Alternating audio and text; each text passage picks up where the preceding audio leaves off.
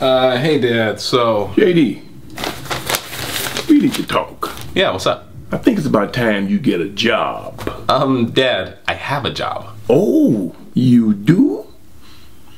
And what would that be? Huh?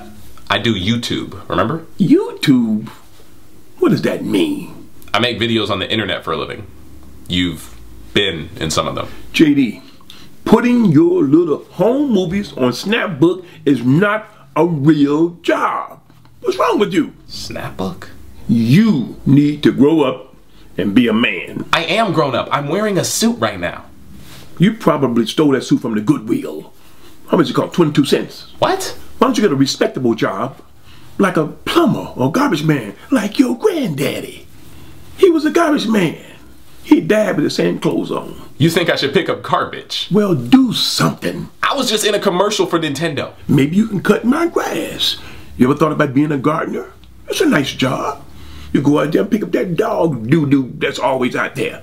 I'll give you 50 cents a turd. Dad, I think I'm good. The internet thing has been doing really well for me lately. JD, ain't nothing on the internet but booty and worldstarhiphop.com.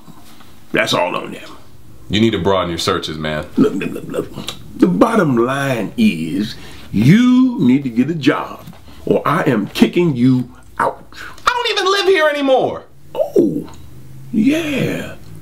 What did you come in here to bother me about anyway? We were supposed to shoot a video, remember? What?